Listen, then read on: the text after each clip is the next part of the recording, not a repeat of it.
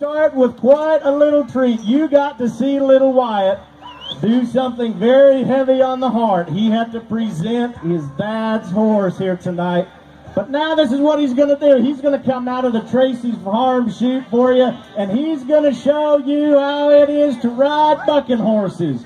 So this is what I need, Argonia. When he comes out of the chute, I want you to scream, yell, dance, do whatever you can to cheer him on because we're on.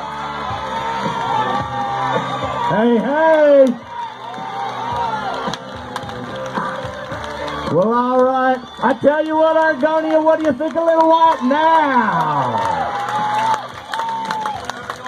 Well, all right. Tips his hat to the crowd and says a little bit.